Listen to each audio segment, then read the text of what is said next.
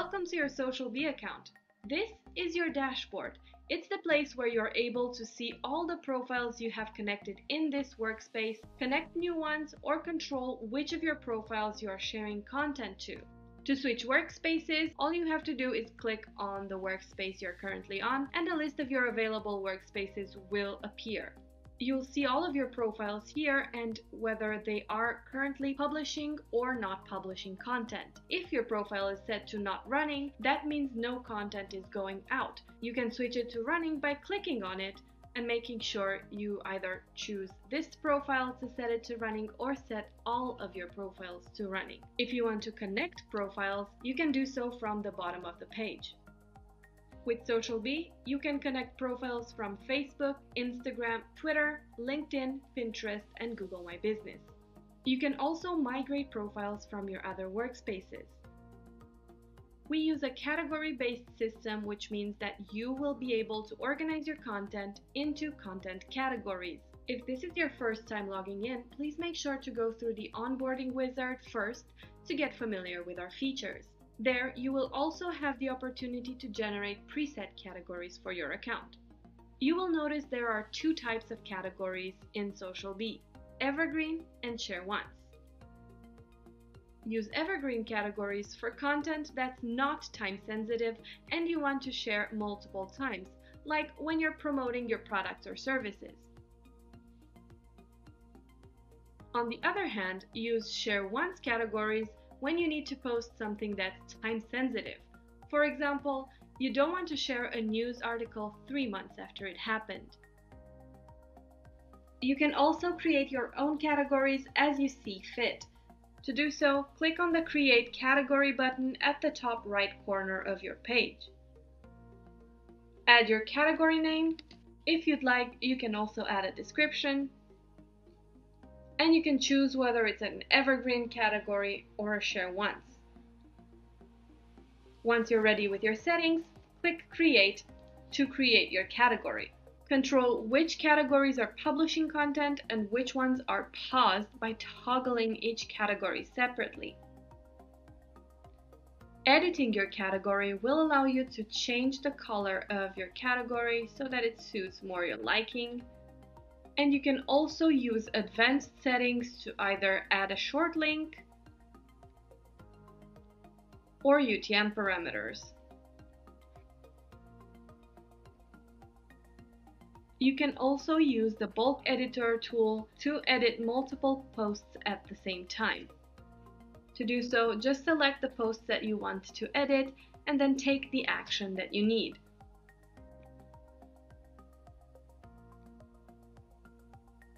Think of your categories like queues for your different types of content.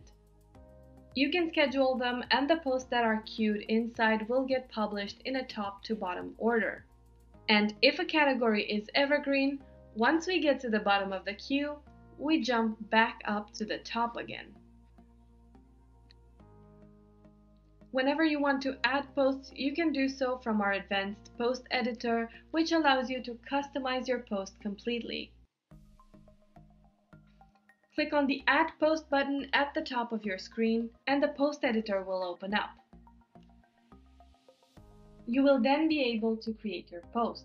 First, select the profiles you want to share your post on. Then, choose a category to include it into. Now you can add your text and a link that will generate a link preview, or add a media file that will catch the eye of your audience. Each social platform has its own requirements. That is why you can customize your post for each profile so that you're able to share a shorter post for Twitter, a longer one for Facebook, a more professional tone for LinkedIn, or be able to replace your link with an image and add hashtags for Instagram. You will be able to see a preview on the right side of your screen at any time so that you have an idea of what your post will look like once published to each platform. Another useful feature here is the ability to add variations to your post. This will help you keep your evergreen content looking fresh, as each time we need to share a new post, we pick the next variation in line. You can add as many variations as you want to make sure that your post gets reshared without feeling repetitive to your audience. You can choose to add your post as approved or not approved if it's still a draft or if it needs to be reviewed by someone else on your team. You also have the ability to choose when you want to publish your post, whether you want to add it to the top of your queue, to the bottom, share it immediately, or publish it at a specific time. Another great feature is the ability to expire your post, either at a specific time and date or after it's been published a number of times. Once you're happy with your post, click the Add Post button to include it in your selected category. You can see a list of posts you have in each category by going to the category page from your content menu and clicking on View Posts on the category of your choice. You can also work on importing content through different means like RSS feeds, Quuu, Zapier, our browser extension, or bulk importer tools. For instance, RSS feeds will automatically import new posts from the blogs you set up so that they're ready to get shared on your profiles. To add an RSS feed, simply click Add RSS on the top right corner of your screen. Select the profiles you want to add the feed to, select the category you want to include it into, paste the feed of the blog you want to add content from, append text if needed, select everything you need and click Create. For more advanced importing options, you can use our Zapier integration. Or, if you want full control over what you import, use our CSV importer. Add your captions and links to a CSV file and then you will be able to import it directly into the category of your choice. This feature is extremely useful when you want to create multiple posts at the same time.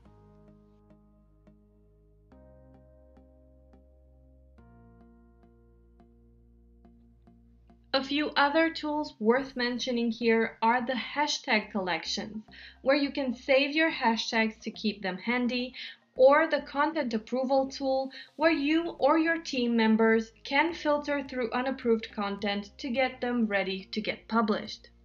Once you've set up your content, it's time to schedule it. In your posting menu, you'll find a schedule overview, which gives you a complete view of what categories are scheduled for all of your profiles. You can generate a preset schedule based on best practices for each platform either from your onboarding wizard or from the bottom of your schedule.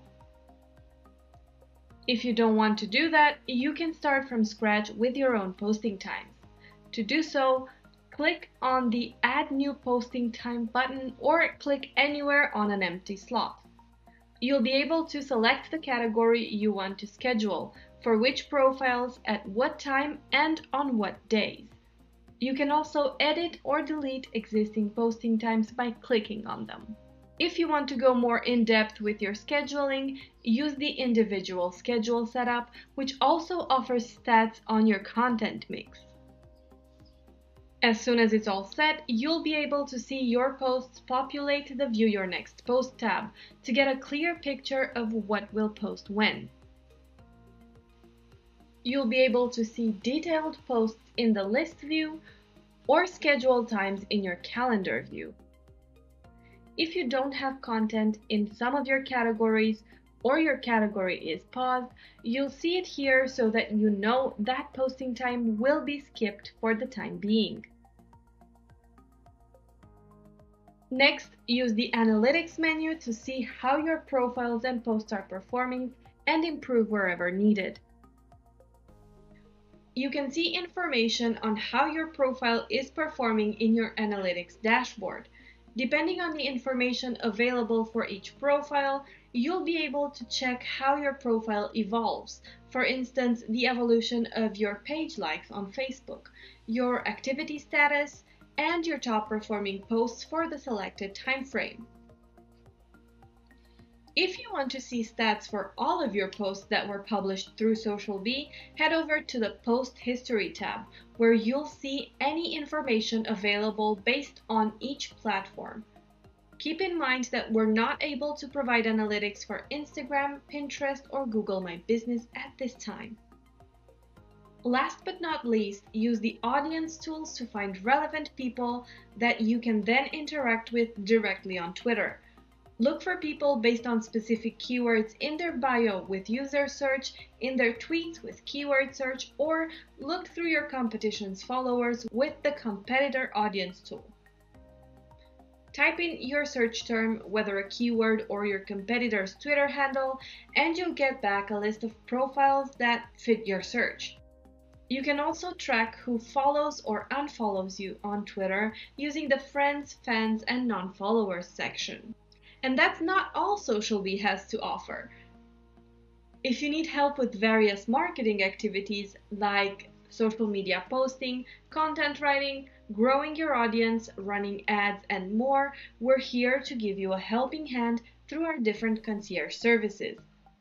Think of these services as extras from a menu, which are performed by real humans.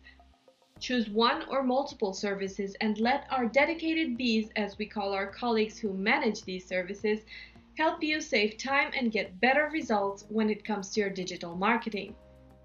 And if you have questions, hit the help menu for more insights, schedule a success call, or email us at hello at socialbee.io.